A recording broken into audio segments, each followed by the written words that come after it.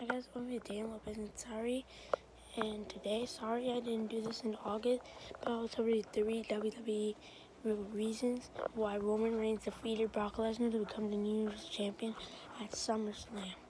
Number three is because Vince McMahon doesn't want Brock Lesnar to hold the title that long.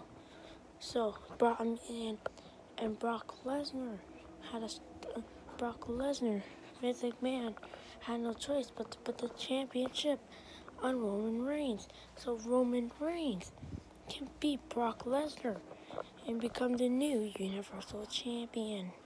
Number two is because it was a storyline. Roman Reigns' storyline was to to beat Brock Lesnar and become the new Universal Champion. But the other storyline was that Braun Strowman will be taken out by Brock Lesnar. And then Roman Reigns had a storyline to when Brock Lesnar was going to hit him with a chair to dodge it and spear him.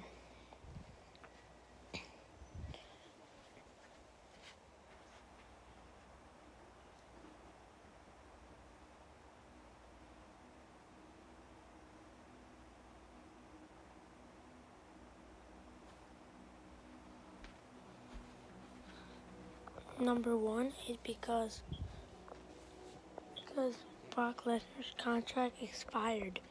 So Vince McMahon decided to, since Brock Lesnar's contract expired on SummerSlam, then to put the to be since Brock Lesnar's they didn't know if Brock Lesnar was gonna stay in WWE. So Vince McMahon decided to put the Universal Championship on Roman Reigns. And fans were, and Vince McMahon wanted the fans cheering, chanting when Roman Reigns wins. And when, when Roman Reigns won the Universal Championship, he, there was a lot of cheers. There was more cheers than boos. What is your reaction to Roman Reigns defeating Brock Lesnar at SummerSlam to become the new Universal Champion? Comment down below. Sorry I didn't do it in August. And I'm out. Thank you guys for watching. Please smash that button, please subscribe, put notification and peace out.